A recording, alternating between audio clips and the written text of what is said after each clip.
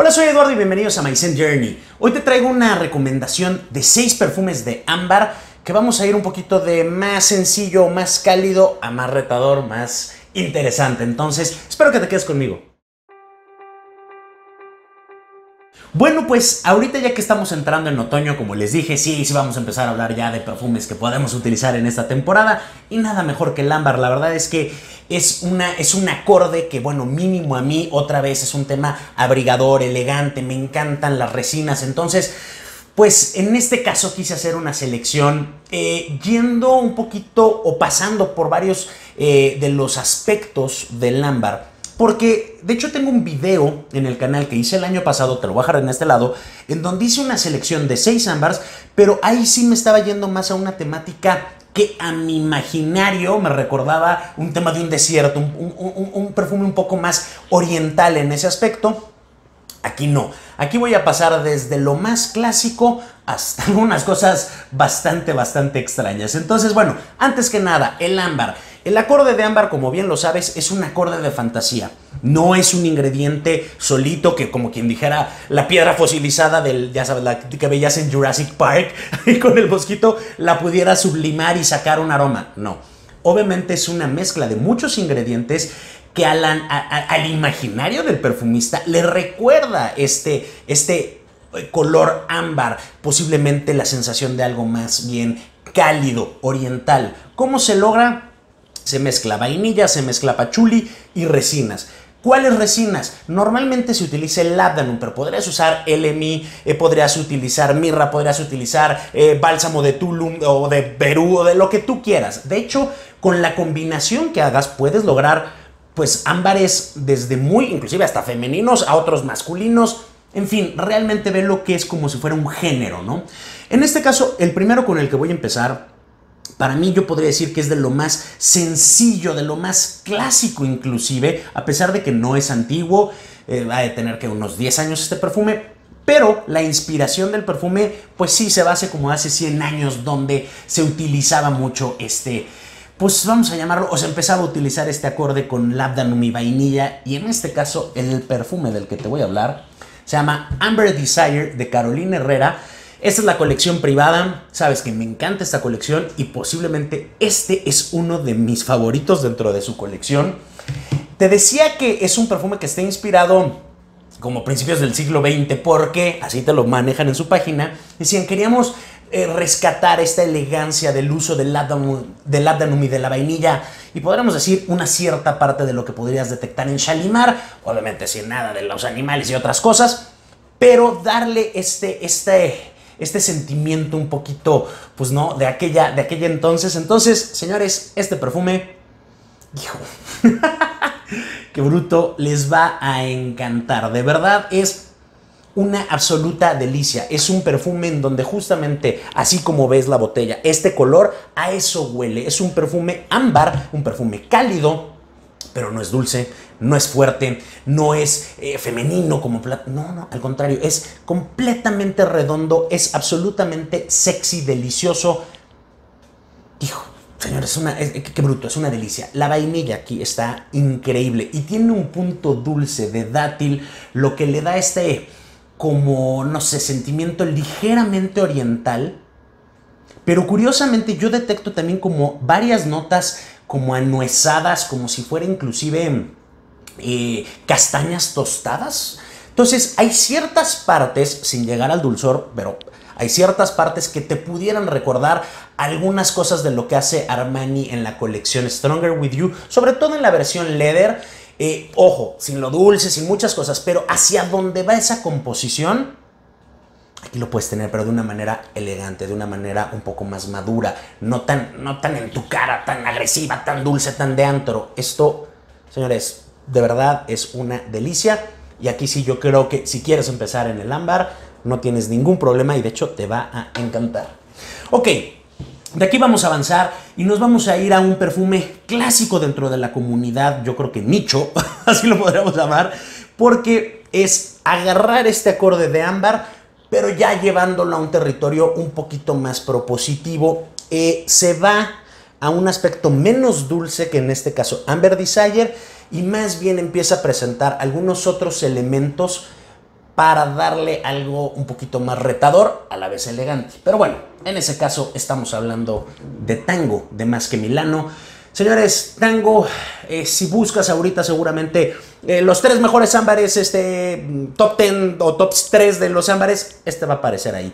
Es una delicia de perfume y me encanta el nombre porque lo que trata de representar es precisamente este baile entre un hombre y una mujer. La mujer trae un perfume de rosas, el hombre está presentando un aspecto un poquito más especiado con cardamomo y posiblemente un poco de sudor porque tiene comino y con esta idea genera Cecil eh, Sorakin, que es, bueno, sabes que me encanta Annie de Nishane, es la misma perfumista. Y señores, Tango, hijo, qué delicia, qué delicia. Este es, wow, eh, o sea, me encanta. Me encanta, ha sido, aparte también fue de los primeros ámbares que tuve dentro de mi colección nicho.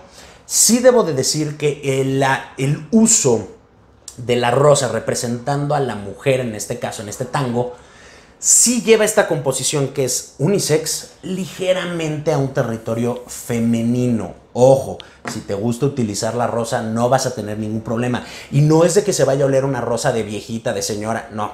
Nada más sí lleva todos este, estos ingredientes. El pachuli, que ya es un poquito apolvado, bueno, con la rosa, pues sí, sí te va a traer un tema mucho más femenino pero señores, es completamente elegante. Y aquí también hay una nota alcohólica, como de ron, sobre todo al principio. me encanta. Oye, em, ¿tendría alguna desventaja este perfume? Yo pienso que el performance. A mí me gustaría más, sobre todo dado el precio de la composición, que durara un poco más, pero también Creo que con esto lo que quisieron hacer es, pues sí, también puede ser un perfume más íntimo. No sería tan fuerte, no sería de esto que en pues en una noche ahí medio de pasión que te dijeran, oye, sácate para acá, porque aparte con el, o sea, que tiene este punto de comino bastante sexual que te pudiera hacer este, ¿no? Eh, alejar. Al contrario, creo que queda muy bien para un encuentro cercano. Entonces, esta sería mi tercer, digo, mi segunda opción. De aquí me voy a la tercera y este sí te podría decir, dentro de mi colección es uno de mis favoritos. Y sí, aquí hay una intersección entre mi video del desierto, el que te decía al principio, porque lo presentaba ya, pero es que, señores, es que aquí es una delicia. Pero bueno, introducción. Todo esto está muy bonito, todo esto está más calidito, más redondito, más pulidito. Aquí ya empezamos a pasar a una faceta del ámbar, que es la que más me gusta en donde realmente vas a detectar los ingredientes por cómo son los ingredientes. Y yo en un en el ámbar, a mí me encanta la parte más bien resinosa. Y en este caso se hace un perfume basado 100% en las resinas, que se huele seco, se huele polvoso, como si siempre les pongo la imagen como de una mesa con polvo, porque se huele como muy peculiar, muy, muy, muy, muy peculiar y estamos hablando de Hambre Sultán de Serge Lutan. Señores, esto es uno de mis perfumes de verdad favoritos y... Qué bruto. Sí, sí, sí, no sé. Ya te iba a decir, es el ganador de todo. No, no, vienen muchas cosas muy interesantes, pero si no has probado esto, necesitas probarlo. En este caso, dejamos un poquito de lado el Labdanum y en esta composición se centran muchísimo en la mirra y en la benzoína y entonces huele seco. Si has olido la mirra, la que consigues en el mercado, ¿eh? los inciensos, o sea, no, te creas que tienes que tener tu, ¿no? Este, tu aceite esencial de mirra. Ese olor que es como seco, aquí lo tienes. Y de hecho, este perfume a mí me recuerda como el, aroma de una vasija de, de pues de barro, en donde en algún momento dado se guardó ahí eh, mirra. Vamos a pensar que ya está vacío. Ese, ese jarrón lleva ya años ahí en una cocina, en una bodeguita, un poquito más frío, seco. Cuando tú hueles a lo que pudiera oler esa vasija, me hace entender perfecto, porque huele seco pero especiado, un poquito frío, un poquito mineral. Y señores, aquí presento una nota muy peculiar de orégano seco y de hoja de laurel, que siguiendo la misma analogía, si tú vas hoy ahorita a tu cocina y destapas donde tengas tus hojas de laurel o el orégano seco, ese olor que te da como, pues sí, como de, de un especiero, aquí lo tienes. Y justamente creo que esta combinación de estos, de estos herbales secos con la mirra, wow. Ahora, la descripción que te digo, podrías también decir, bueno, pero está como más mercado hippie, hierbas, inciensos. No, no, no, no, no, no. Este es un perfume elegante, elegante. ¿Quieres ir a una boda con ese perfume? Así lo puedes hacer. Es, hijo, de lo mejor que hay. De lo mejor que hay. Yo sí considero que se va, dada esta propiedad un poquito más brusca, seca, hacia un territorio masculino. Sin embargo, es un perfume 100% unisex. Mujeres, no dejen de probarlo. Pero, hijo, si tú lo que quieres dar es este primer brinquito, ya tienes estos ámbares dulcecitos, más clásicos, y quieres empezar en tu colección nicho, este es el, movimiento que tienes que hacer. Ok, de aquí me voy a ir a un perfume que no lo tengo, pero Juan de Huéleme Mucho me y esto habrá sido yo creo que ya casi un año, seis meses, hicimos un video juntos y dentro de sus recomendaciones, que en ese entonces era 2020, me dijo, este perfume es que ha sido lo mejor que he olido, no sé qué. Me quedé con esa idea. Y hace una semana, dos semanas, estando en el grupo de Perfume Adictos México, que por cierto, si no se han registrado, regístrense, es la mejor comunidad que vas a encontrar aquí en México.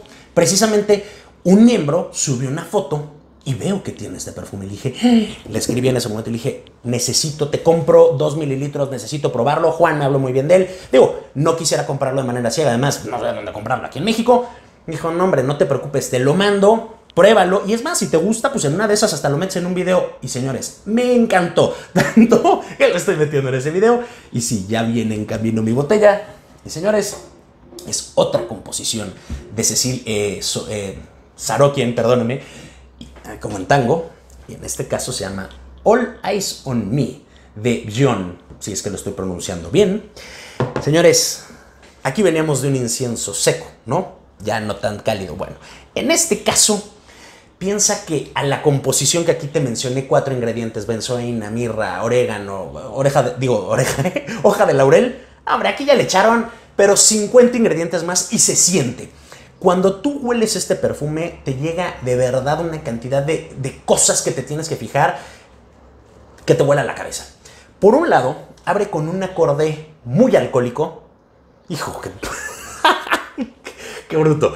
Muy, muy, muy alcohólico, de ron, de coñac. Pero por el otro lado viene acompañado de algo como abatón, cadavana, ligeramente almendra aldeída, aldeídica, tiene, eh, tiene naranja, tiene rosa, tiene ylang ylang, tiene clavo, el clavo súper eh, alcanforado, sabes que me encanta a mí, por ejemplo, del 9-7, el original, el clavo a mí en la perfumería me encanta. Bueno, pues aquí lo vas a tener. Y además también tiene geranio, que es también alcanforado. Entonces huele entre fresco por un lado, cítrico, pero especiado. Y con este fondo de pachuli, vainilla. No, no, no. De verdad. ¡Guau! O sea, ¡guau! De verdad, obra maestra este perfume. Yo no lo conocía, no conocía la marca. Te digo, si no hubiera sido por Juan, nunca hubiera llegado a este perfume. De verdad, doy gracias de haberlo encontrado porque me parece propositivo, me parece nuevo, me parece algo que no tengo en mi colección. Y curiosamente, eh, digo, obviamente misma perfumista, ¿encuentras algunos dejos, por ejemplo, de tango? Sí, solo que donde tango se va más hacia este aspecto como de la rosa dulce, te decía, ligeramente femenino, aquí ya no. Aquí regresamos un, un perfume 100% unisex porque tiene, tiene de todo. Hacia donde lo quieras, hacia donde le quieras ver, le vas a encontrar algo. Y la vainilla, aquí hay algo bien curioso. Yo detecto, y sobre todo en el secado, se empieza a endulzar la composición y la vainilla se va a uno de mis favoritos, que es Annie en ese estilo. No, no es lo mismo, no es Nada más que ya cuando empiezas a tratarle de encontrar, ¿no? Pelos al gato y dices, pues es la misma perfumista, se empieza a secar, tienes la vainilla, pero tienes la naranja. No es tan fría como en Annie. Señores, o sea, palabras, palabras van a sobrar. Es, este es uno de los perfumes que tienen que probar. Increíble. Ok, ya de aquí para los dos últimos vamos a pasar a una barrerita un poquito más difícil, pero a mí me encanta. Y es la propuesta más animal o más ahumada de los ámbares. Y este que te voy a presentar es, como te decía, cuando buscas los tres mejores ámbares, te sale tango, este es otro que sale en esa triada y es Hambre Loop de Rania J.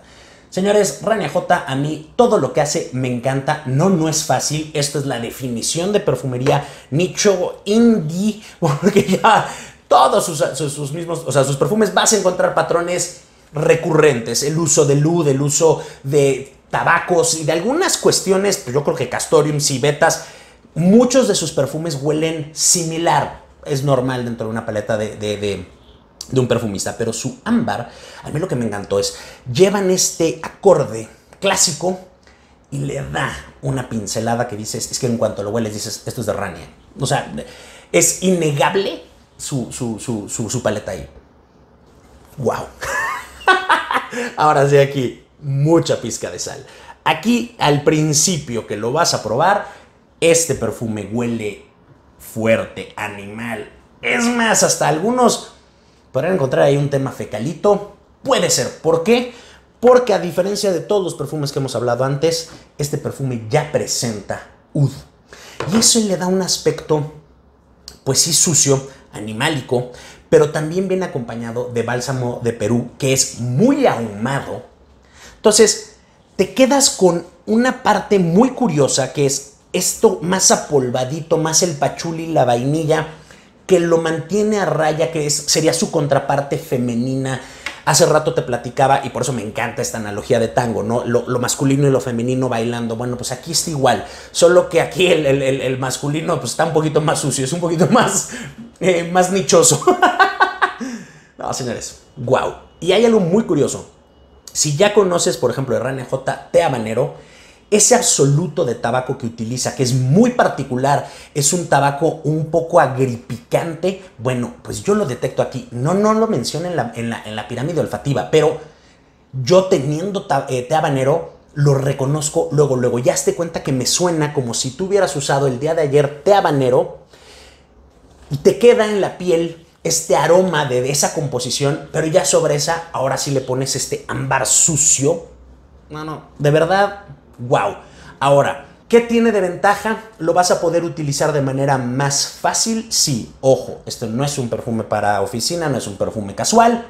Es un perfume ya más nocturno y te digo, para ámbitos un poquito más de nicho. Ok, de aquí me voy a ir al, último de la colección y este sí es el más raro de, la colección y lo compré porque precisamente es un, es un ámbar, pues como no había yo probado un poco en ese sentido y leyendo hacia dónde va el, o lo que quiso hacer el perfumista es, dentro de su colección, que es una marca nicho, trató de hacer una subcolección con cuatro ingredientes en donde quería como exacerbar todas estas notas obscuras, eh, poderosas, y darle un matiz a cada uno de estos cuatro ingredientes. Bueno, pues en este caso, el ingrediente obviamente es el ámbar, y el nombre se llama Edición Rar o Rare Ambrarem o Ambrarem Señores, hay perfumes nicho y esta madre.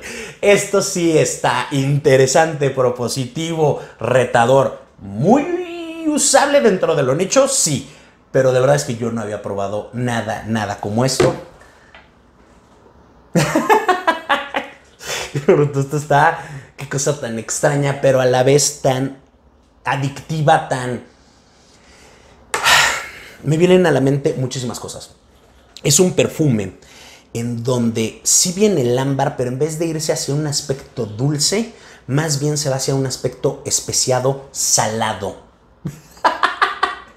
Entonces, donde estas resinas aquí con la vainilla te dan un puntito más cálido, más dulce, aquí como viene acompañado de castorium, tiene oud, tiene azafrán, tiene eh, iris, como que toma un aspecto muy extraño, huele ahumado. Al principio, en cuanto lo pones, posiblemente hasta hay gente que te va a decir, me huele como a plátano, digo, a, plástico quemado, a algo raro. Y de repente yo me acuerdo que cuando lo olí dije, claro, es que yo ubiqué hacia dónde va esta parte salada, rara. Perdón, señores, se me cortó. Pero bueno, les estaba diciendo, este perfume es muy, muy extraño. Y cuando yo lo estaba oliendo, pues sí me vino a la mente algo raro, pero algo raro conocido, si eso te hace sentido.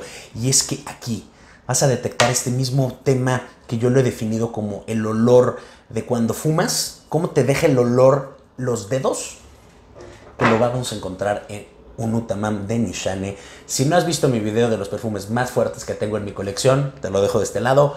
Claramente este está dentro de los más fuertes, dentro de lo más inusable. Bueno, toma este aspecto peculiar de ese perfume y lo mete aquí. Ahora, aquí es muchísimo más usable. Tienes, te digo, un cuero, pero por otro lado, este iris le da un puntito elegante. Entonces, a lo que quiero caer con esta descripción un poquito fuera de todos lados, porque es muy difícil de describir. Cuando lo pruebes, te garantizo que no has probado nada en este sentido. Dentro de lo raro, a mí se me hace muy elegante, muy propositivo. No son, o sea, no son de estos bichos que te podré decir, pues no sé cuándo lo uses, ¿no? Ojo, yo tengo muchos seguidores que cuando vieron el video de Bestias me dijeron, ¿qué dices, Eduardo? Este yo lo uso diario. ¿Ok? de verdad, de verdad, esto lo tienes que probar. Y como puedes ver, el ámbar te vas desde lo más sencillo hasta lo más extraño. A mí este aspecto un poquito más central, vamos a pensarlo aquí, es donde más me gustan los ámbares. Por eso te decía, ve mi video de los, eh, del desierto y entonces pues sí, vas a ver a Andy Tower, vas a ver a Istanbul Soul, vas a ver por ahí algunas cosas que son las que a mí más me gustan. Yo sé que lo que más se vende o lo más clásico tiende a estar por este lado. Pero bueno, espero que este video te ayude a tener un poquito más en el radar qué tanto es tantito y que vayas probando y vayas viendo cuál en este espectro del, del ámbar es el que más te gusta a ti. Y bueno, aquí nada más puse seis propuestas porque podemos poner muchísimas más. Entonces, pues señores, si quieren probar alguno de estos perfumes justamente para que quieras eh, o quieras caer a saber qué parte del ámbar a ti te gusta, te voy a dejar el enlace a mi, a mi proyecto donde vas a poder comprar los Decans. También te he dejado los códigos de descuento a lo largo del, del video, entonces utilícenlos. Y pues señores, me dio mucho gusto verlos y cualquier otra recomendación, sugerencia o algo que quieran que hablamos, ahí déjenme en los comentarios. Nos vemos después. Bye.